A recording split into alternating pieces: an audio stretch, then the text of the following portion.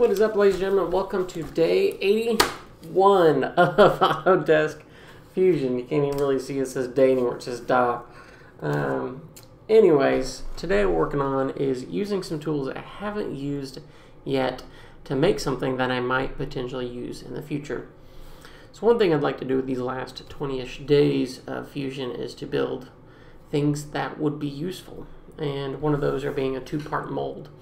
So part of the uh, initiative I'm going to try to push in my engineering classroom is more of sustainability practices in reusing and recycling things. And so what I thought about was how can we recycle paper in such a way uh, to be reusable? One thing I came across was, was people making planters and so out of paper and so what they do they recycle the paper they make this paper paste and then they would push it into these two part molds clamp it down, and then once you're done, you have a vase or a, planter at least for uh, some outside stuff. And so what I'm going to try to do is actually I'm going to 3D print this once I get my hands back on my 3D printer and uh, using some I say rudimentary techniques and trying, trying to do some more research I'm going to try to build one of these vases and see if we can get something up and running.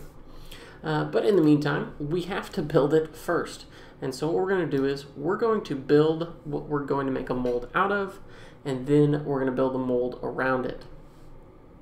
And so how do we do that? Well, first thing I'm going to do is I'm going to click on New Design, and then I want you to create whatever 3D geometry you're going to want to create a mold out of. For me, I'm just going to use a hexagonal pattern for a variety of different reasons. One of those being is that um, I think they would look a little bit nicer. They stack a little bit neater if they're side by side. And so what we can do then is just take this hexagonal piece, extrude it on up. Let's make it uh, three inches tall.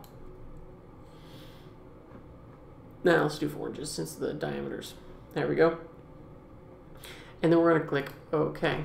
Next thing I'm gonna do is I'm just gonna just shell out this top piece and uh, let's do 3 tenths. Um, that way we just have a nice shell of a potted plant for us to work with. Alright, next thing we're going to do is we're going to keep this as a bot. You notice I didn't make it a component. And what I'm also going to do now is I'm going to create a new component, or sorry, yeah, sorry, create a new sketch.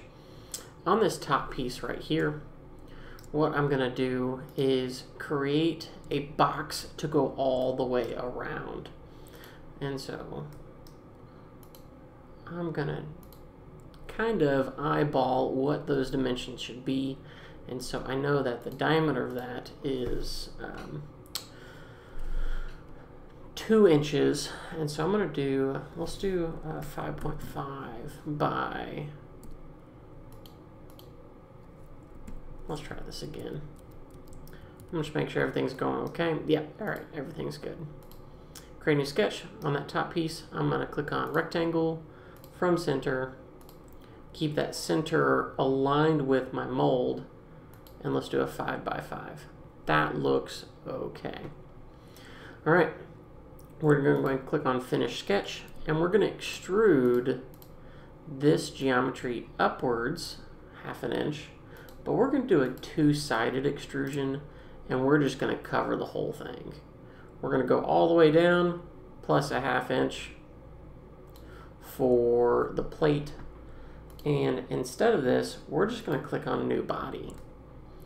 And what that's going to do for us is we have a body with inside a body. So if I if I take that new outside piece away, that inside is still there. So how do we how do we interact with both these? I'm going to right click on that second body and I'm just going to make this 50% opaque. That way it's still active, it's still there, and I can interact um, and then we're just going to continue going on from here. Now this part might look a little bit different based off of what geometry you're trying to do. And so I found this to be the quickest method for this hexagonal piece. First thing I'm going to do now is I'm going to modify, I'm going to click on combine, and I'm going to take this outside piece and the target or the tool body is going to be that inside piece and we're going to do a cut. And so what it's going to do is then take all of that geometry that's on the inside on that body and just cut it away from that block. We're going to click on make it a new component, keep the tools, click OK. And so now what I've got here, let's make those bodies inactive, is I have this component that has got some inside pieces. And so how do we then interact with this thing to uh, let us separate this mold? Because now we've got a mold, but a hexagonal piece on the inside, but there's nothing I can do with it. So what I'm going to click on now is I'm going to construct, and we're going to do offset plane, and we're going to offset until we get a plane that is going to be where our mold is going to break at. This is going to look different based off what you're doing, but I found this probably to be the most helpful of ways for us, on, on mine at least. And we're going to put a plane right there. The next thing we're going to do is we're going to click on modify, and now we're going to split body. And so this body right now, this component, is, is one whole body. And what we're going to do is we're going to split this body through that plane I just made. And it's going to kind of take a saw right on through it, click OK.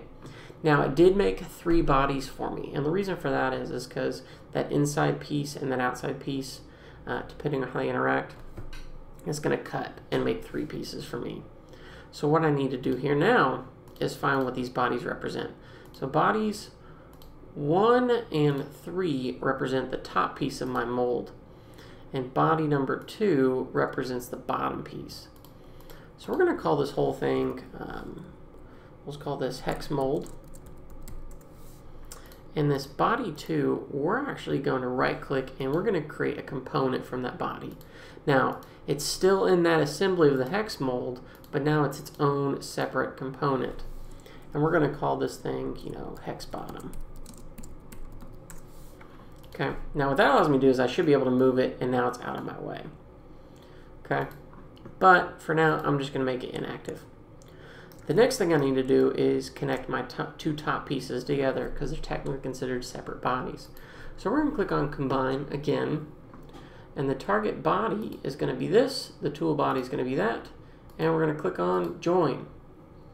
And we're just going to add those two bodies together. We're going to create a new component out of it and you notice that new component got kicked outside of my hex mold. So what I'm going to do is I'm going to drag and drop and throw it right on in there. So we got hex top, we have hex bottom, and if I make both of these active, we can see the thickness of that mold is the thickness that I set when I shelled my hex earlier. Alright, ladies and gentlemen, I believe that's going to be it for this mold. We can see everything kind of works as needed. There are going to be some extra bodies uh, based on how you do this, and you can just make them active or you can delete them because from those referencing pieces, we have everything that we need. Okay. All right, ladies and gentlemen, that'll be it for this video. If you have any questions, comments, concerns, throw them down in the comment section.